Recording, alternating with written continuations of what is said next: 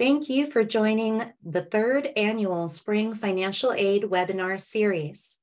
This series is brought to you by the Northern California College Promise Coalition, or NCCPC for short.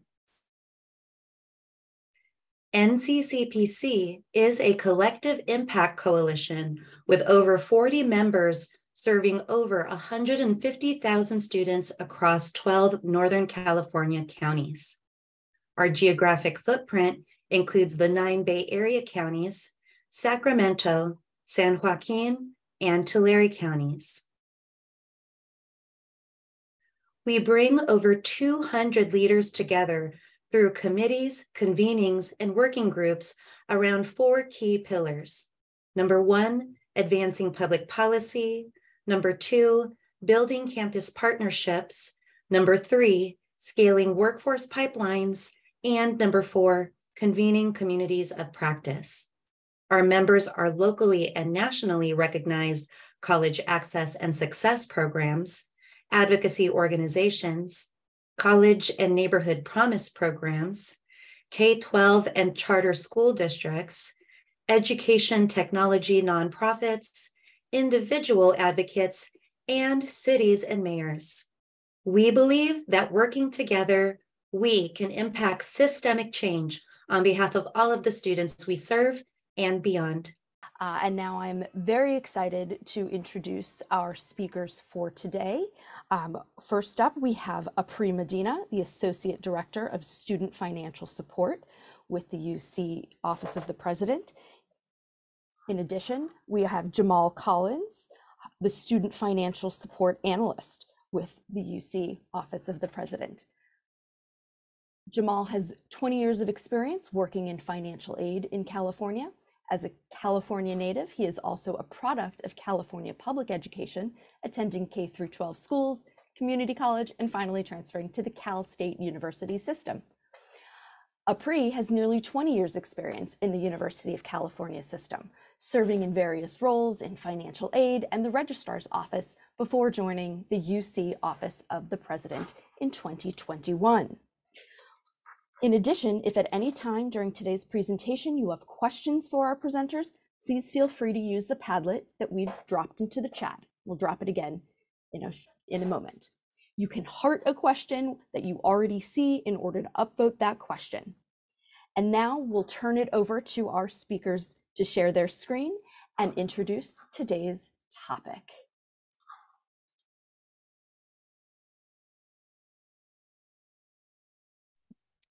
Thank you so much and welcome everyone and thanks for joining us today. It's a pleasure to be here to talk to you about financial aid. Um, so we're going to go ahead and get started. Uh, I know we had our intros um, provided, so we probably can skip this one, but I'm Aprí Medina. Uh, I work at the UC Office of the President. I'll be covering the first few slides here with you all, talking about um, how UC works in terms of our financial model, the philosophy, sharing a few updates about FAFSA, um, and then Jamal will take a majority of the presentation today. So here are our objectives. Uh, in today's session, we will again provide an overview of financial aid at UC, how our programs impact California students, again, what's new with FAFSA simplification. Um, we'll also discuss how UC uh, packages financial aid and how outside scholarships are factored in. Lastly, we'll take a look at new and updated aid programs that uh, students at UC will benefit from. So first, let's start uh, looking at the UC financial aid philosophy. At UC, we view student financing as a partnership. And that partnership includes parents for those students who are dependent upon a parent, um, who contribute based on their financial resources. The parent's contribution is determined by the financial information that they provide on the FAFSA application or the CADA, the California DREAM Act. The student's also a part of that partnership and will continue, sorry, and will contribute by working part-time and borrowing as necessary and responsibly. There are some goals that UC has around student borrowing that we'll cover later in the session, but students can look for outside and private scholarships to reduce their need to work and borrow. Many of our aid offices also encourage students to uh, continue to look for those resources while students. Sometimes what happens as I'm sure some of you uh, experience as well, is students kind of stop looking once they get into the university. Um, and we really try to encourage them that it's it's a continuous uh, uh, part of, you know, uh, if they want to go ahead and seek those resources because there's many opportunities out there. The third member of this partnership is the university. Our role is to coordinate federal, state, and university resources to provide students with the most beneficial financial aid package based on a student's financial need and available funding. So during the 21-22 academic year, UC undergraduates received $2.4 billion in grant and scholarship funding. So it's an enormous, enormous amount of funding, mostly from the state through the Cal Grant program and through the University of California's need-based grant program. So this number also includes 56 million that students received from outside scholarships. These funds are going to yield big results for UC students. And all of this information um, can also be found in terms of how much financial aid students are receiving through the UC Info Center. I'd like to share that in case uh, you all like to access it. And we can share it later too in the chat. Because of the grant and scholarship funding available at UC, over 55% of California students receive enough grant and scholarships to cover UC tuition.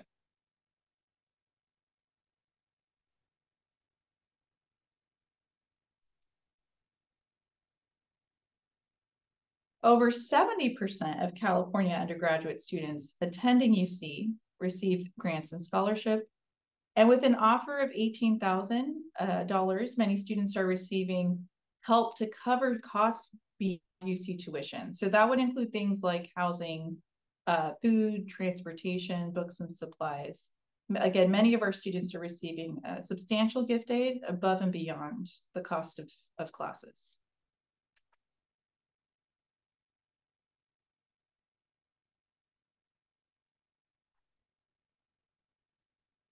So there's a hot topic. Uh, what's new with FAFSA? um, so on your screen, I've highlighted for you um, some of the top pieces that I drew out of a summary that was provided uh, by our California Student Aid Commission partners who uh, control CalGrant. Um, of the FAFSA simplification items, there are many other items aside from what's on this list, um, but again, I tried to draw out things that I felt directly affected students that you'd be working with. So in terms of the FAFSA changes, um, we have a few key changes that are coming up in the year academic year 24, 2024, 25. Okay. So not this coming fall, but for the next academic year. The FAFSA that controls that year that is applied to that year is going to now no longer account for the number in college, meaning siblings that were previously reported in the number in college that used to divide the EFC. For example, if you reported, I have two in college, myself as a student and my sibling, um, that used to divide the EFC in half. That component is uh, no longer.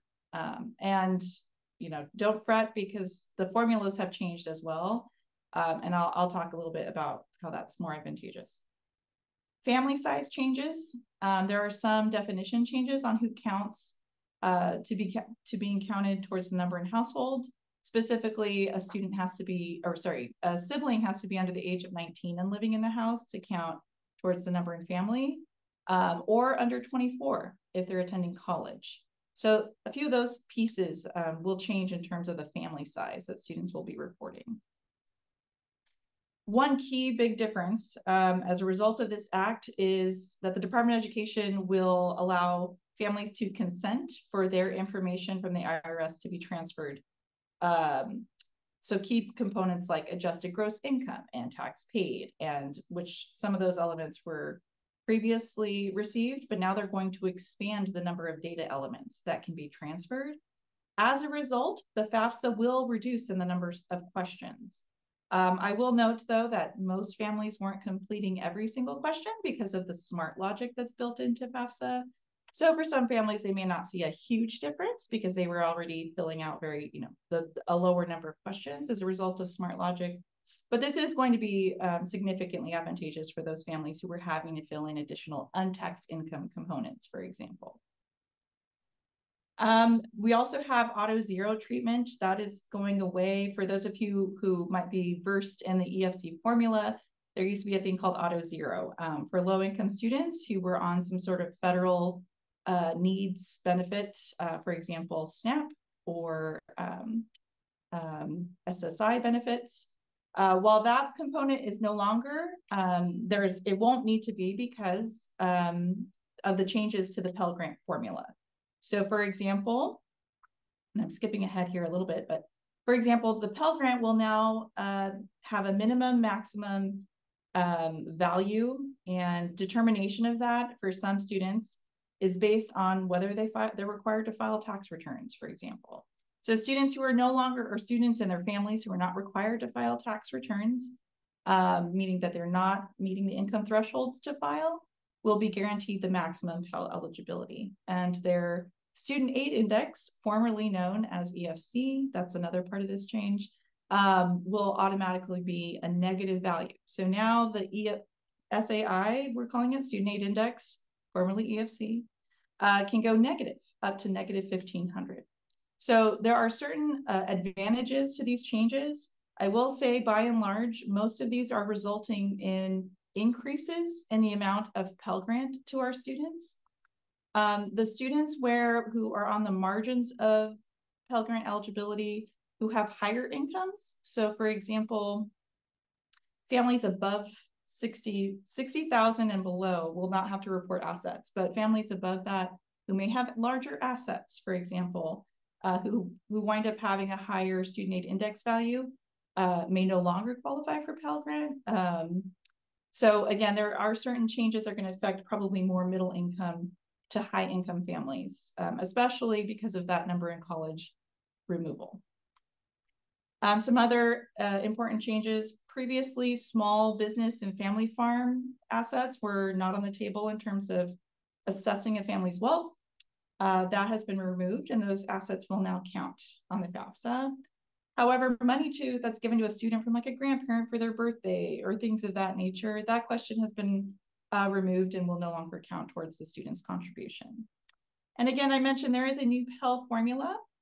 The Pell is based on uh, this student aid index, but it's actually a, a kind of a workflow essentially. A student can qualify for that maximum Pell Grant by not being required to file. Um, they can qualify for a partial Pell whatever the maximum minus their student aid index. Um, so again, if their student aid index is does not exceed the maximum Pell value, they may qualify for whatever that portion of Pell Grant is. I will say that the maximum for this next year is about 6,700. So looking ahead to 24, 25, you know, that would mean a student aid index of no more than that. A student might have the possibility. Um, but again, it's going to be based on uh, family size and the percent of poverty level of the income of the family uh, for partial eligibility. And then there are families who will qualify for a minimum Pell Grant as well. And with that, uh, I know that's a lot of information. I just wanted to give some highlighted notes. One other element is that uh, the FAFSA typically, as you all are accustomed to over the last since 2017-18, has been made available October 1st. Um, because of the substantial changes that are going into the application for 2024-25, that application is supposed to open this October. The Department of Education has notified the community that um, it, it's not looking likely that they will make that target date. They're not willing to commit to the October 1st date. Uh, so what we're hearing is that it's most likely going to be January 1st. Uh, what does that mean for our students? Well, at UC, um, we, you know, in terms of we that that's how the the FAFSA worked in prior years, prior to 17, 18. Uh, we are going to be ensuring that students have um, substantial messaging in terms of making sure that they apply by March 2nd for new students for the state deadline. But aside from that, UC has very generous financial aid programs. Um, we're going to provide assistance to students uh, based on their financial need. Um, so it does condense the timeline somewhat. Uh, we are con somewhat concerned about that, but because we've been here before, um, we're we're welcoming a lot of these changes. We've done a lot of modeling and have noted that our students are advantaged under this new uh, simplified FAFSA and the new Pell formula. So with that, I'm sure there'll be questions. I'm happy to take those later, but I'm going to go ahead and pass it to Jamal, who's going to talk a little bit about um, financial aid and scholarships at UC.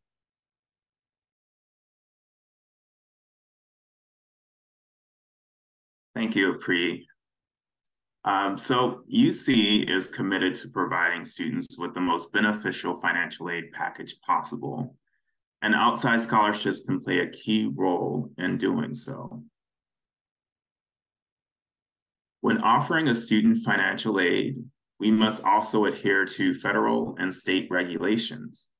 In the next slides, I will explain the factors that must be considered when adding an outside scholarship to a student's financial aid package and provide examples of how outside scholarships may or may not be require an adjustment to an initial financial aid offer.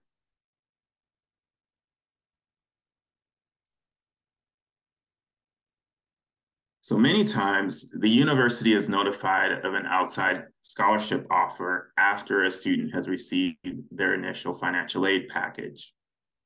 There are three factors that a financial aid office must consider when adding an outside scholarship to a student's package. I'm advancing too fast there, sorry. First, uh, does the student have financial need? We'll look at how financial need is determined and how a scholarship can cover um, the remaining unmet need in a few slides, in the next few slides. Beyond that, we will examine also the cost of attendance, which limits the total amount of financial aid in which a student can receive, and that includes grants, scholarships, work study, and loans. And lastly, aid offices must consider scholarship restrictions. Scholarships sometimes come with instructions for how they can be used and this can have an impact on how the scholarship is added to a student's financial aid package.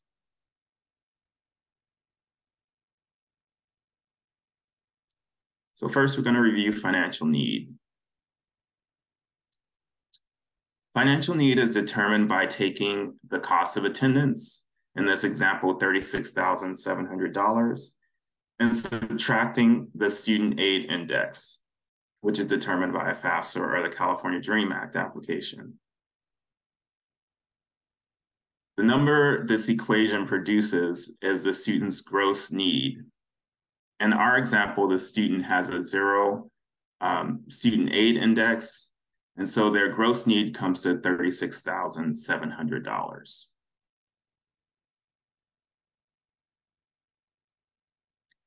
Once we determine a student's gross need, we can determine the amounts of federal, state, and UC gift aid this, uh, the student is eligible for. Based on this student's need and the funding available, the student is eligible for a total of $26,200 in gift aid. After we've maximized the student eligibility for gift aid and we determine um, what need-based self, then we determine what need-based self-help aid the student is eligible to receive. Need-based self-help includes subsidized loans and work study. In this example, the student is offered $7,500 in need-based self-help aid. Adding those two figures together, the student is offered a total of $33,700 in need-based aid.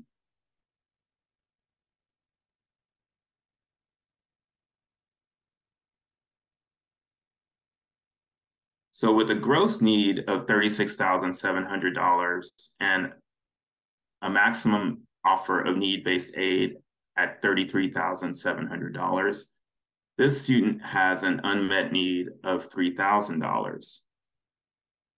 Because there is no additional need-based aid uh, to offer this student, um, the student might be initially offered a non-need based aid like an unsubsidized loan to fill in that um, that gap.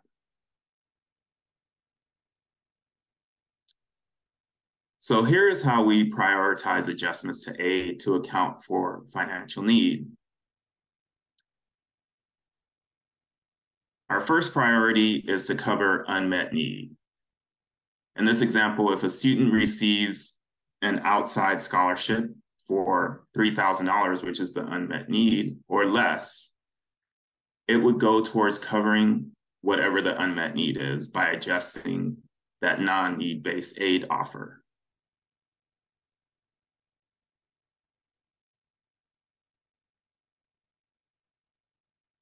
If the student receives an outside scholarship greater than $3,000, but less than $10,500, we would first cover the unmet need. And that's specific to this example because of the numbers we're using here. So those could change depending on the student, um, the student's information.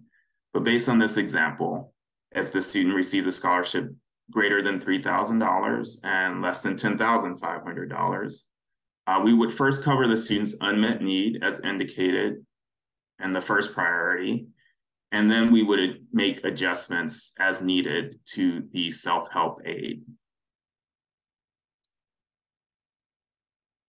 And lastly, where student scholarships cover more than their unmet need and need and need-based self-help aid, an adjustment to a student's gift aid would be required.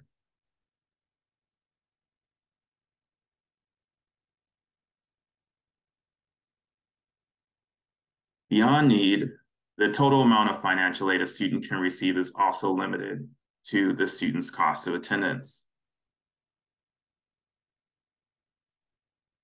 In our first student example here, the student has an SAI of zero, which mean that which means their parents are not expected to contribute anything towards the student's education. The student has offered $26,200 in gift aid from the university and a total self-help aid of $10,500. So that can include subsidized loans, work study, and even unsubsidized loans. These amounts combined cover the student's cost of attendance of $36,700. So the student has maxed out their eligibility um, with the funds that were offered. If the student receives an outside scholarship of $1,000, their financial aid will then exceed the cost of attendance. To comply with federal financial aid requirements that limit a student's aid to the cost of attendance, an adjustment will need to be made to the student's financial aid package.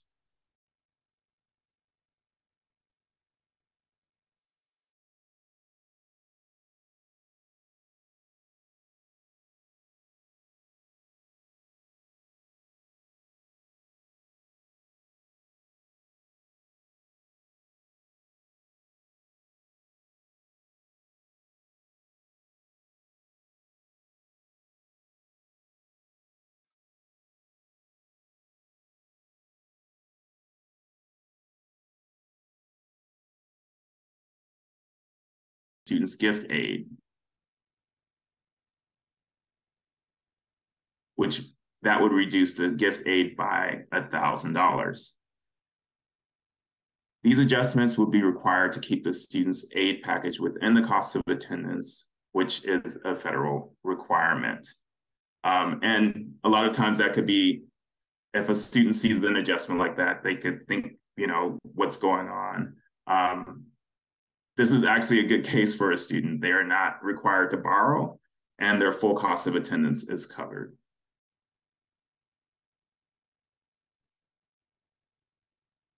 In the next example, the student has a student aid index of 7,000.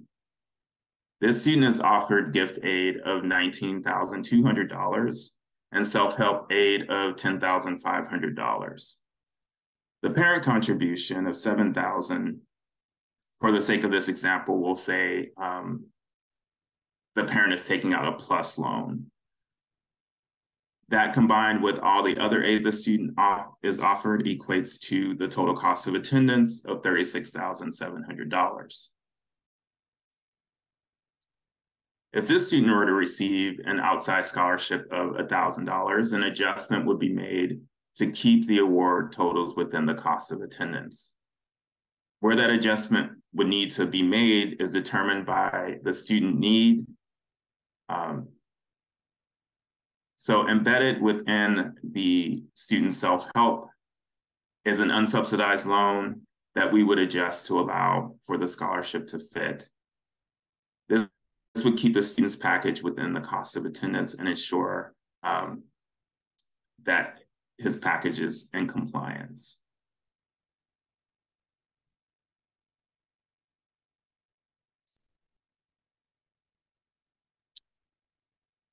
In the case where this student received a combination of outside scholarships totaling $11,500, an adjustment would have to be made to the account to account for the student's need as well as their cost of attendance.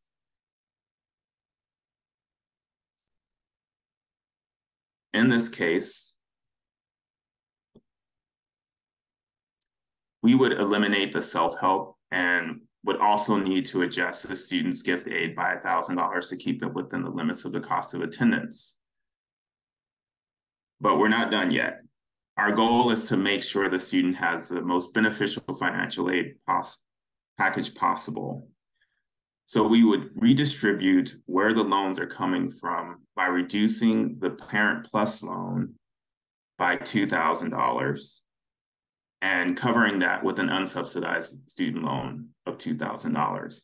We do this because the interest rate and fees on the unsubsidized student loan are more favorable than those of the PLUS loan.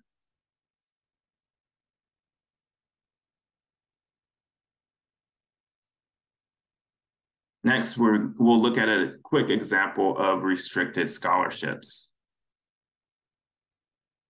In this example, the student receives a Cal Grant, which is uh, 12, uh, awarded at $12,570, and a scholarship for $5,000. As you see uh, in this chart, the Cal Grant is restricted to pay tuition. And the scholarship was sent to the university with instructions that it also pay tuition. In a case like this, we would need to reduce the Cal Grant by $5,000 in order to allow the scholarship to fit within the financial aid package.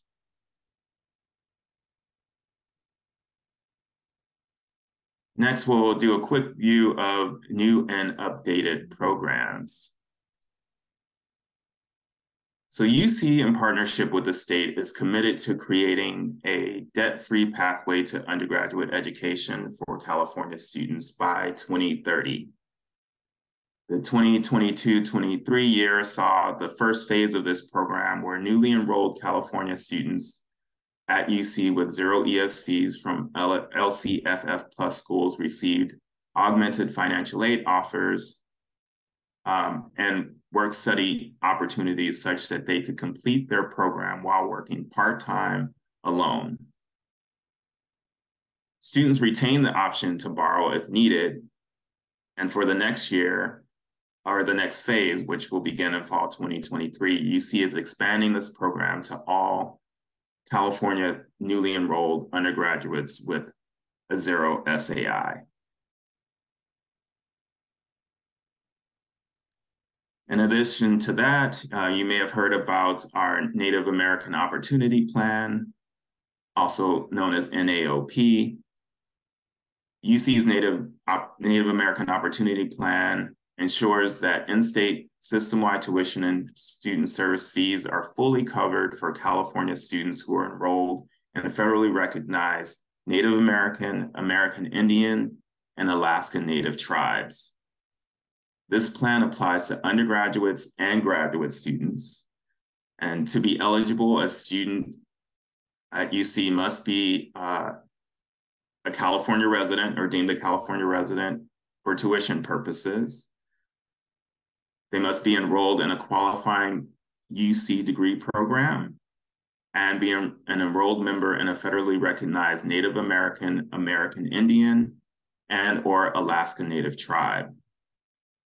They must also apply for financial aid by submitting a FAFSA or California DREAM Act application.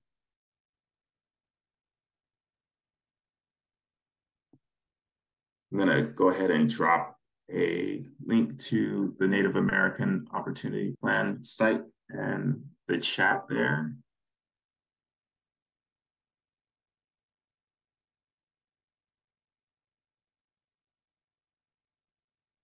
In addition to that, um, the state, beyond invest or revamping the Cal Grant program, has also made major investments in the middle class scholarship program, also known as MCS 2.0. These investments will allow for awards to be determined based on the cost of attendance, which will increase the number of eligible students. Formerly, this program was limited to the cost of tuition. Increases, uh, they've also increased income caps income and asset caps for the 23-24 year to $217,000. The goal of this program, once fully funded, is to get uh, students to a self-help or a loan work expectation of $7,898. That, that's in line with um, the debt-free program that UC is, uh, is, has as one of its goals. And I believe there's some additional information that Aprí has about how the middle class scholarship program impacts um, outside scholarships as well. Yeah, just briefly, um, uh, because you may be hearing from students on this. Uh, all scholarships, so under the prior middle class scholarship program, um, only outside scholarships were accounted for in the legislation. Under the MCS, the Middle Class Scholarship 2.0 program, all scholarships are factored into the award eligibility, which means that you know students who are bringing in outside scholarships or who get campus-based uh, scholarships, um, including um, need-based awards from areas like basic needs. At the present time, the legislation doesn't make a distinction um, between uh, between campus programs. So outside scholarships are are accounted for that exceed that self-help of 7898. So anything above that. So that's pretty rare. um, but campus awards, like academic awards, again, basic needs, they're all lumped into campus aid that's provided to the student. So it affects uh, the program in a much larger way. Um, so this is resulting in a lot of back and forth uh, currently on the student's eligibility. So a student's assigned their award at the beginning of the academic year, for example, they acquire some sort of other assistance, their award continues to change throughout the year. Um, so we are advocating at this time, uh, along with our CSU colleagues, for some adjustments, some amendments, I should say, to the um, trailer bill language that was that is that established this program um, to recognize that not all campus aid is the same and that if we're going to um, affect eligibility, we would like those other non-need-based forms of gift aid that come from outside of financial aid uh, to be treated similarly to outside agency scholarships. So again, that's what we're advocating for. Um, the legislature has, of course, has to buy in. So uh, just wanted a, a, heads up that the program is very different at this stage. It is it's essentially you know almost an entirely new program um, because not now not just middle class students, it's also the students um, who have lower contributions from the FAFSA, even zero zero EFC slash SAI students are receiving some you know amount, even if it's nominal, uh, from this program. Uh, and as a result, you know, it, it, there was a complete overhaul. So I just wanted to provide that update that, you know, if students come to you not understanding or, you know, uh, that that's part of the, part of what's happening is we believe it was an unintended consequence um, of how the, the legislation was was written. So we are we are doing our due diligence and we're hopeful um, that the legislature will uh, will will hear those you know concerns and be able to make amendments for the future of the program.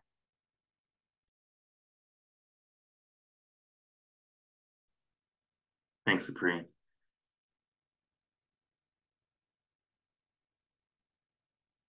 So another thing that's important to UC is ensuring that we're meeting the basic needs of students. Um, over the last several years, UC has been working to develop new policies, programs, and services to meet uh, the university's strategic vision of providing a college experience where all students have what they need to thrive personally and academically. So with that, all 10 UC campuses have on-site basic needs centers providing food, emergency housing, and compreh a comprehensive range of support services. Any UC student can use these services at the Basic Needs Center nearest to them, not just on their campus where they are enrolled. The number of students served demonstrates the need for these services. Over 48,000 students were served during the 29-20 fiscal year alone. The state has also supported the university's efforts by providing $18.5 million in support annually for basic needs support.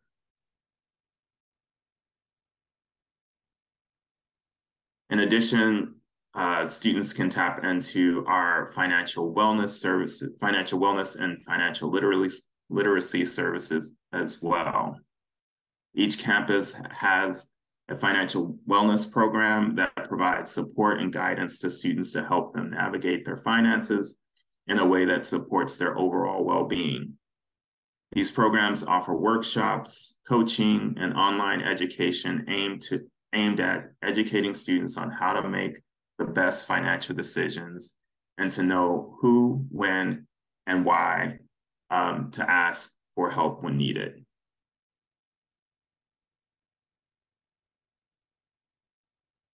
So let's look at uh, some resources. The UC Financial Aid page is geared towards prospective students and their families. It is the hub for information regarding uh, our system-wide financial aid programs with tips for completing the financial aid application process. It also links to um, our campus financial aid uh, websites and tools.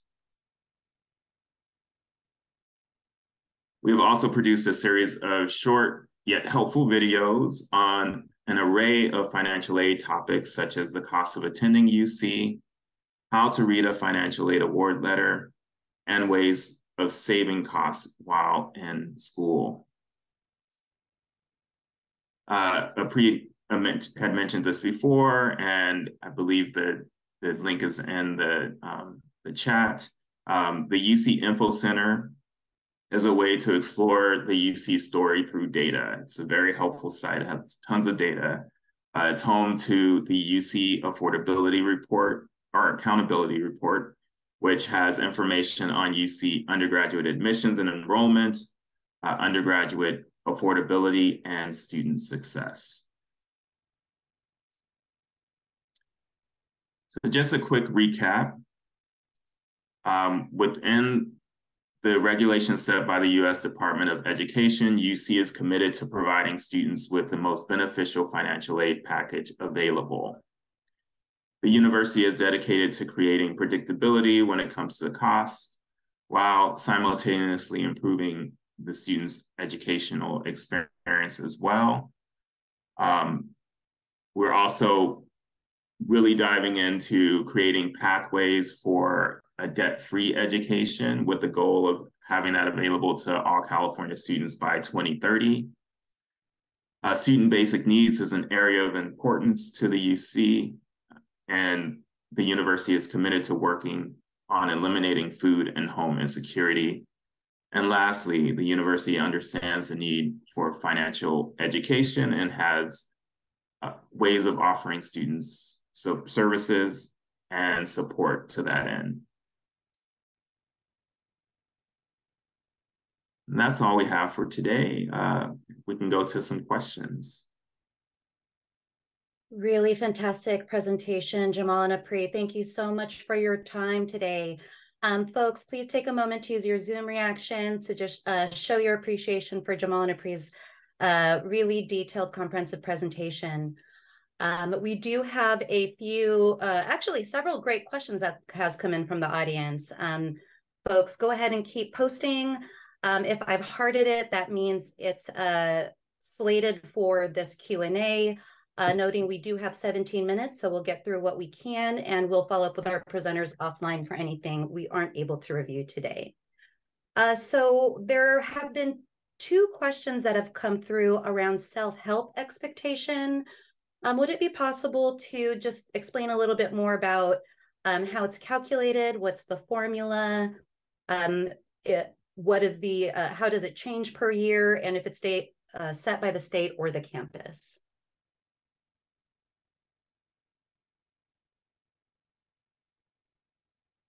I can take it. Um, so self-help is a, uh, it's actually done by the system-wide office, our office.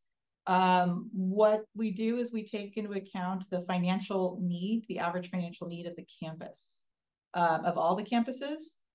Uh, financial aid through our university-wide um, student, the student UC grant program is funded by tuition dollars. So what we do is we determine the total amount of net revenue essentially, and we're portioning it out amongst the campuses based on their level of need um, for their populations. And the reason that we do that is because uh, students, you know, we want students to not be prohibited from attending a campus just because, you know, they happen to be a higher need campus um, or a more expensive campus for that matter. So this allows us to ensure equity um, amongst our student populations across the UC system um, and so we funnel those dollars accordingly uh, based on that calculation. It's more complex than this. I'm just giving you a kind of holistic bird's eye view. Um, and then essentially the campus sets their self-help. Uh, typically what they're doing is they're looking at their um, overall pot, you know, of gift aid as calculated by our office, and they are dividing that accordingly uh, amongst their eligible population for gift aid recipients. Great, thank you so much for that, Aprí.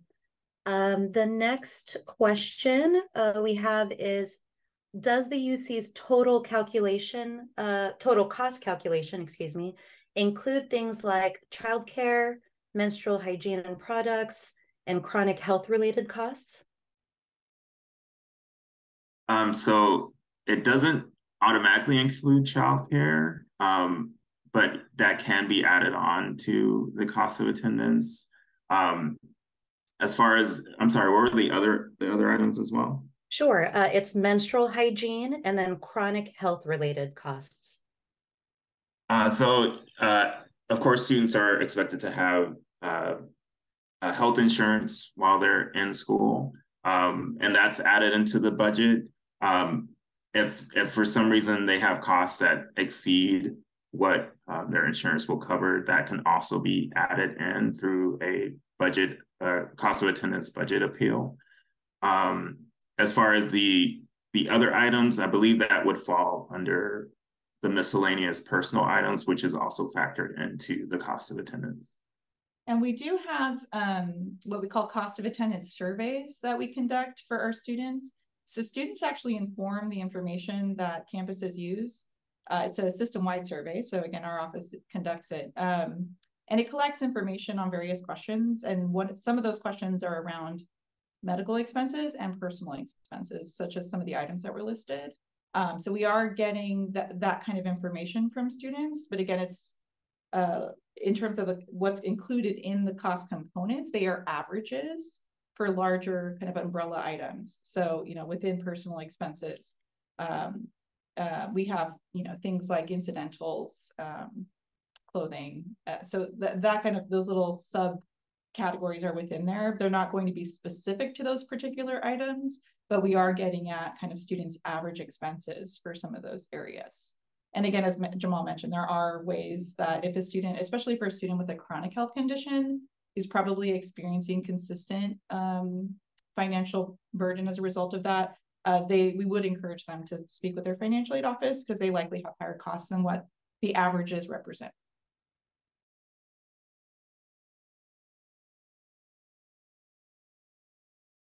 Thank you to you both for that um, detailed explanation. Appreciate it. Um, and I am doing my best to consolidate notes, uh, what we're hearing as answers and posting them to the questions in the Padlet. Um, next question, uh, can you uh, clarify how the UC calculates the average housing costs at the off-campus level? Might be a good segue from that last one. Yeah, so as Pri- uh, Priya had mentioned, um, there there is information that's provided by students through our uh, cost of attendance survey um, that help us make those determinations as far as uh, cost of housing. Um, I believe also there, so because the the the survey is done, I believe once every other year, um, there may be like um, uh, inflation calculations that carry it over before the next data set comes through. Yes, it right. So we do do factor inflation into those estimates um, of what students report.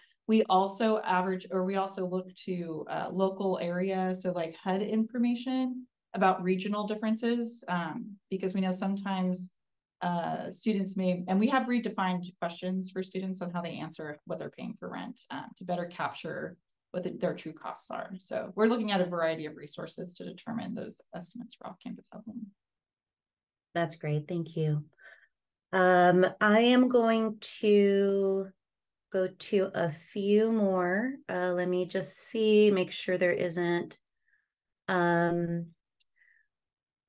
since uh, I'm going to try to focus a little first on the things that are technical or tactical, um, tactical folks, and then I'll move to advocacy questions.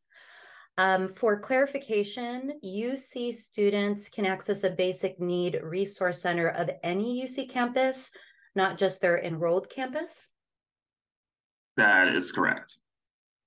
So say for instance, a student is uh, not near their campus, maybe they're, you know, visiting another campus and they run into an issue, they can access services at the closest campus that they're they're near. That's great. Thank you. Uh, thank you to whoever asked that question for clarification. That's really um, a fantastic resource to make sure our students are aware of. Um, we have a few questions uh, related to um, MCS 2.0.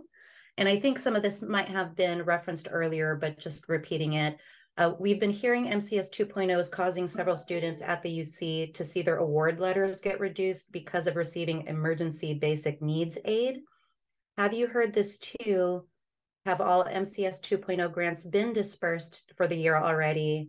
And what is the typical timeline of those disbursements? So yes, um, UC is aware that uh, basic needs awards are affecting the middle class scholarship. Um, um, I, I, mentioned earlier, we, we are advocating along with our CSU colleagues for a change to the legislation because we do believe this was an unintended consequence of how the middle class scholarship was revised as a program. So we are doing our best to, to ensure we raise up those concerns. Um, and not just basic needs awards, but you know also specific scholarships for underrepresented populations. Um, for example, our former foster youth. We have scholarships at certain campuses that get provided to them that may be impacting uh, their middle class scholarship as well. So we are doing our best to try to raise those concerns to the state legislature. Um, and I'm sorry, I forgot the other, uh, what was the other component? Um, have they all been dispersed by the UC for the year or the status of the disbursement and then the timeline for disbursement? Yes, so all campuses have issued their fall disbursements at this point. Uh, took them a while to award um, because we uh, didn't have guidance on the formula for determining the award. So it was a much, it was a very much wait and see on what the students were eligible for. Um, there's been additional guidance since then, so awards are coming out faster. Uh, so I believe at this time, all this we have two semester campuses. The semester schools have issued uh, their spring semester disbursements. Uh, the quarter schools, I believe, all also have um, dispersed their winter quarter disbursements, but spring will will pay when spring aid goes through, which is typically uh, middle of middle of this month, actually. Um, so right before the term starts for spring. Thanks for that, Aprí, especially for breaking it down by the different term types. Super helpful. Um, let's see. It looks like there was a question, but someone might have answered it. Is there a website for more information on the debt-free program? And One has been provided, um, but do either of you want to go a little bit more into that question? A website for more information on the debt-free program. Um, I went ahead and listed that answer. Um, I, I just said that the program was a soft launch this last year, so it was a very, very small group of students who were eligible. So we didn't want to put out information because uh, the, the, the, the, the program is still developing. This next year, a much larger swath of students um, are going to be considered. And so, yes, information will be posted to the link to the admission site, uh, I believe under tuition and fees. Is that correct, Jamal? Um, yes. Yeah, okay. Uh, and that's going to be done in the near future um, prior to those students being selected. That's great news. Thank you for that. And I believe I see one last unanswered question. So if folks have anything else burning, this is the time to add it. Uh, the question, oh, I just lost it. What would be the most favorable favorable conditions for outside scholarships? For example, where should they be allocated if a student is Cal Grant eligible? I would say, and Aprí can she can jump in. I would say if if if it was unrestricted, that would be the best case scenario. um, if a scholarship doesn't have instructions for what it needs to be applied to, then the university can make the determination of where it would be most beneficial for the student.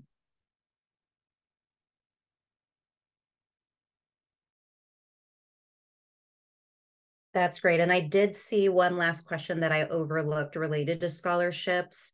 Um, and this will be the last one. Let me see. There might be time for one last one after this. How is the new legislation that Governor Newsom passed going to affect adjustments and this formula to accommodate outside scholarships, if at all? And I believe that's in reference to AB 288. Um, AB 288, yes, uh, for the, I, I, would say uh, that doesn't, um, UC was already compliant with that. We already, and as Jamal demonstrated during the presentation, uh, when outside scholarships come in, our ultimate goal is to make sure that the student has the maximum benefit from all of their gift aid. So the first area we apply a scholarship to is unmet need, as um, Jamal mentioned. Then we target non-need based aid, things like parent loan and unsubsidized loan. Then we, you know, then we target subsidized loan and work study. You know, we, we go from what's least beneficial and if there's any gaps uh, to other types of need-based aid. And then before we touch any kind of gift aid, we're reaching out to students to see if they have any higher educational related costs, like uh, if they need to purchase a computer, and you know, it's their first year, things like that. Um, it is extremely rare that even before this bill passed that we would um, that it, outside agency scholarships would affect gift aid because typically again as jamal demonstrated the self-help is, is you know was a lot of space for students to be able to fill that area uh, with other gift aid from outside sources. Um, in terms of uh, moving forward i will say the one thing in the legislation it does though indicate that we um, need to comply with federal law. So we still have to meet a student's financial need and their cost of attendance ceilings. So, you know, if a student were to get $25,000 in scholarships for a year, it's likely we would need to adjust some sort of gift aid at that point because it's unlikely a student has, you know, substantial that, that level of uh, increased costs for the academic year. Um, so we're still held to the federal standards, um, but for the, for you know, 99% of our students, it was not uh, it was not an issue prior to the bill. Um, uh, and our and, and, moving forward, yeah, we're we are we are um, factoring that in. So because it's part of our practice. Um, Jamal, did you have anything else to add? Um, I when I think about you know the the whole question around outside scholarships. Uh, it just harkens back to uh, a lot of times this information comes in after uh, aid has already been offered, and sometimes even after aid is dispersed. And so students may feel like, you know, oh, I got the scholarship, and they're expecting money in hand after all their aid is dispersed. And if an adjustment has to be made, even to their non-need based aid, a lot of times that will happen, and it may feel like they're not getting anything, but they they actually are. Um, they're is reducing their overall debt, um, and they're getting a more beneficial package, basically. Thank you for that, Jamal. Thank you, Aprí. Thank you to you both for your time. We're going to conclude the Q&A and start to close out the session. But is there anything last that you would like to share out to the group before we close out the workshop? And um, after you, all the Zoom manager will take it over. Um, I would just say thank you so much for attending. I, I know some of this can, financial aid is very complex. Uh, so we we always encourage folks to re reach out to the financial aid offices. Uh, they have teams who are, are there to help, even if students are not enrolled, uh, including for yourselves. So, you know, if you have questions, don't hesitate to reach out uh, to our campuses and or uh, Jamal or myself. Um, you know, we, we're, we're also here to assist.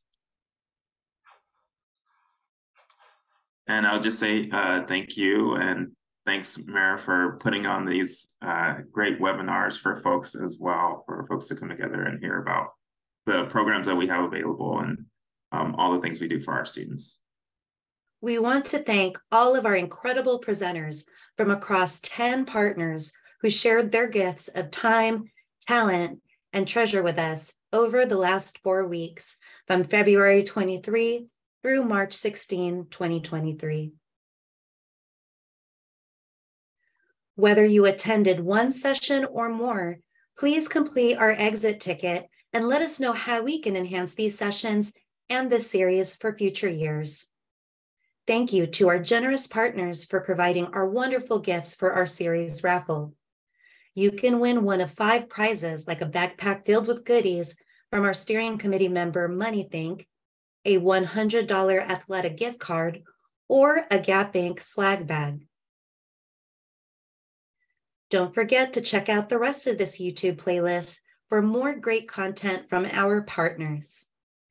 Thank you again to our 10 partners from across the state of California, the University of California, the California State University, the California Community Colleges, the California Student Aid Commission, ScholarShare 529 and CalKids, AICCU, or the Association for Independent California Colleges and Universities, the California Association of Student Financial Aid Administrators, and Decided Powered by MoneyThink.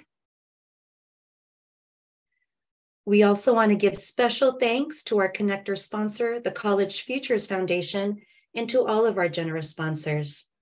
This free four week webinar series is brought to you by the Northern California College Promise Coalition, our members, our sponsors, our partners, and more.